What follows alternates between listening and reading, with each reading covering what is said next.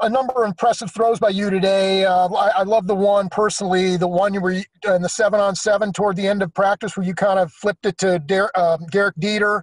Kind of you were moving to your left, couldn't step in it. You just kind of snapped your wrist. When you just go through the video and you see those kinds of things, you you stop to say, "Wow, that was pretty cool," or, or you just kind of you, know, you kind of immune to those things now.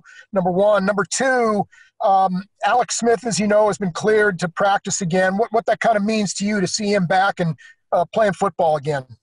Yeah, to, to, answer your first question, uh, I think the, the the great thing about uh, training camp practices and, and practices with Coach Reid is he allows me to try those different things. And uh, as you kind of seen camp go, there's been times where I've made some of these throws and, and they've worked out and we scored touchdowns. And then I, I threw one one day and it was like a easy interception. So he lets you try those different things and you just learn from them, see what you can and can't do. And uh, it helps me to being in the game. When I get there, I know what I can do and what I can't.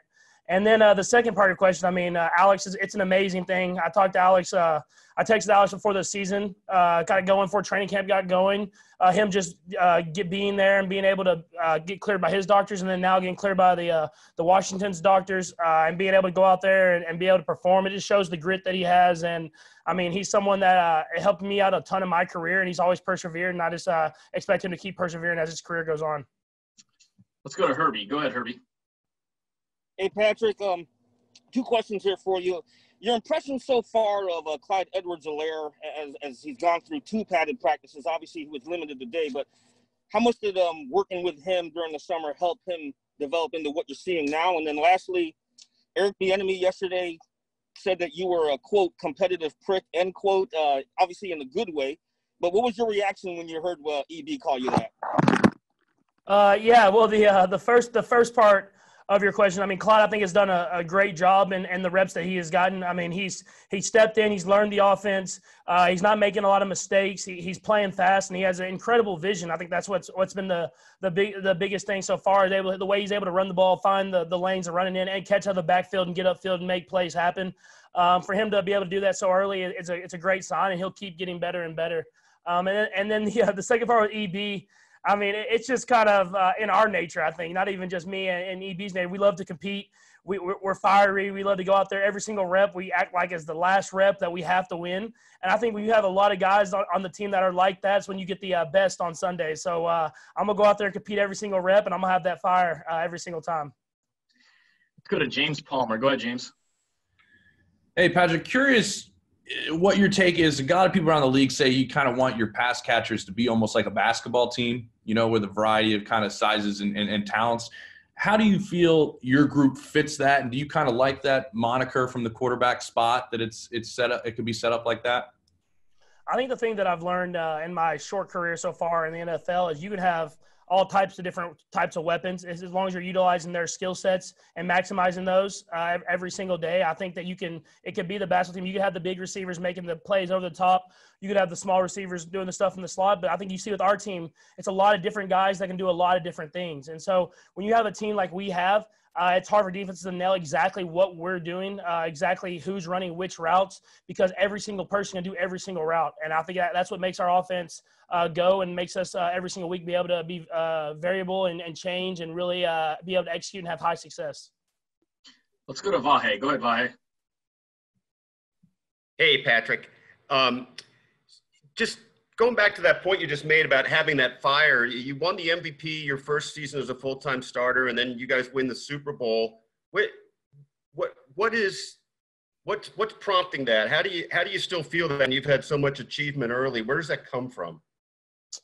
Yeah, I think that's just for the that's just the love of the game. I think uh, when you play this sport, the best thing about it is you get to start over every single year um, every single year, no matter if you won the Super Bowl the last year, no matter if you lost, an AFC championship game, no matter if you didn't make the playoffs, you get a clean slate. You have to go out there and compete every single year. And you have to have the passion and the mindset that you're going to go out there every single day and execute every single rep so you can go out there and be on top again uh, and uh, be able to have those parades, be able to enjoy it with your, your teammates and your family and your friends. And uh, once that, that you enjoy it, you, you come back and do it again the next year. Let's go to Pete Sweeney. Go ahead, Pete. Pat, yesterday would have been uh, the first preseason game. Typically, Andy would have given you a series or two um, and then ramped you up from there. I was curious, what do you think you might be missing without having those dress rehearsals? And then how do you plan to maybe make up for that and be ready for the, the Thursday night opener?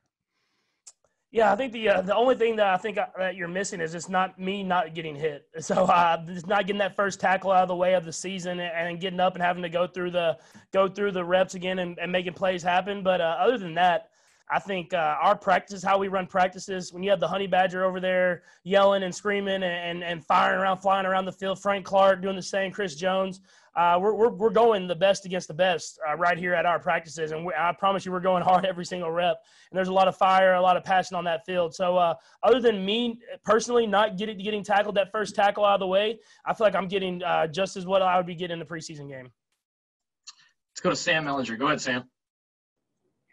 Hey, Patrick. Um, we know what you think of the uh, your ranking in the top 100, right? Um, I'm curious what you think of Mitch Schwartz dropping off the list, and do you have a theory on why he seems to be sort of underrated when it comes to awards and that kind of thing? Uh, yeah, I mean, I think uh, obviously the position gets underrated a lot. I mean, the, the right tackle position, uh just throughout history. I mean, for the, the guys like Lane Johnson and, and, Mitch Schwartz that have been doing it year in and year out. Ryan Rebs, Ryan Ramczyk, all those guys. I mean, I know he was on there, but they've they've done it year in and year out, and had a lot of high success. And so, uh, I think uh, with Mitch, it's, it's it's crazy to not see him on that list with how he how clean he keeps the pocket, how he does in the run game, how he he's really done a, been a great player for a long time. But I think uh, we we understand as a group that we're going to go out there and when you when you win Super Bowls, when you do these different type of things, everybody's going to get get the recognition that they that they're going to get after the after their career is over. And I think that's what you'll see with Mitch is once his career is over and you look back on it, you'll see how great uh, of a player he's been uh, from beginning to the end of it. All right, guys, we've got time for a few more. Let's go to Darren first. Go ahead, Darren.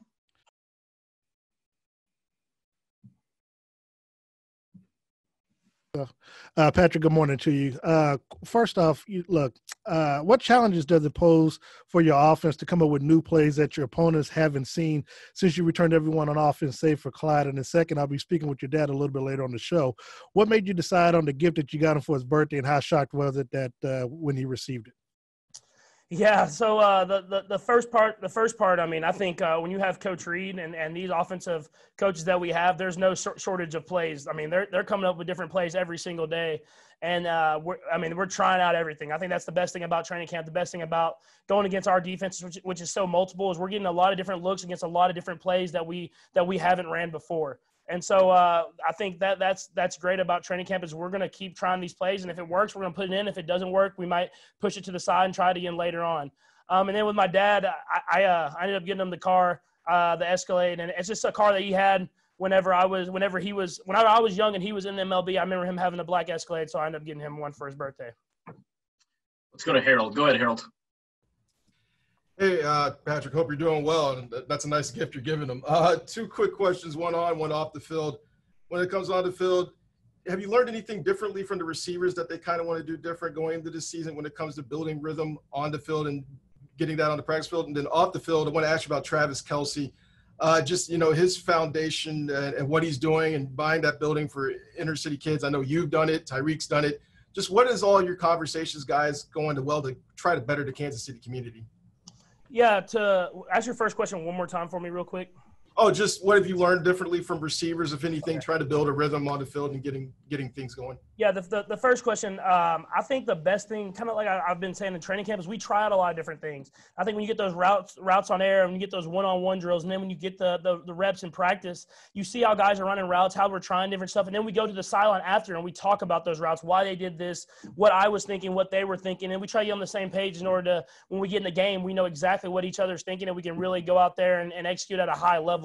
And I think that that that how Coach Reid runs practice sets up perfect for that. And then the the second part, I mean, it, it was awesome to see what Travis did with that with that uh, building, the with, with uh, the Operation Breakthrough. It, it's it's crazy because I remember over a year ago he was talking about trying to buy that building. He was talking about the plan of doing that, and, and he and to see it finally go through. Obviously, he earned the contract, got the contract, and then this first thing was I make sure that he did the thing that he'd been planning on for over a year. Um, it just shows how much he he's put into this community uh, that has given him so much. And then I feel like throughout our entire team, we try to do the same. And I think when you have leaders that, that do that, it, it brings everybody else with us.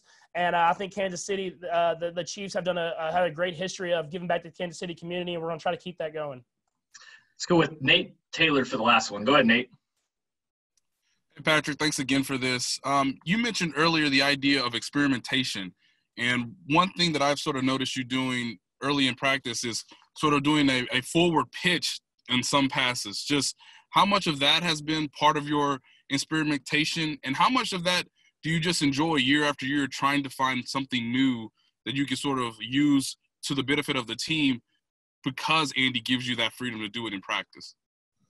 Yeah, I mean, I, I don't want to give away all my secrets, but I mean, yeah, it's stuff that I stuff that I work on and stuff that that we do. I mean, I try to find ways to get the ball to the receivers, tight ends, whoever, running backs, whoever it is, the quickest way possible. And uh, the the pitch was one thing that we had kind of worked on, stuff like that. Um, I think I saw either Brett Favre or Aaron Rodgers do it in one of the games. I was watching one of those throwback games, and so uh, with the Green Bay Packers, and so I try to look at what guys have done before me. Uh, I know I've, I've, looked at guys like Dan Marino uh, and how he had success. Uh, and then I look at the guys that are playing around the league with Deshaun Watson and Lamar and and Dak Prescott, all these guys that are that are having success, and I try to find what they do, and then I try to take it out and put it into my game, and so I can be a better player every single time I step on the field.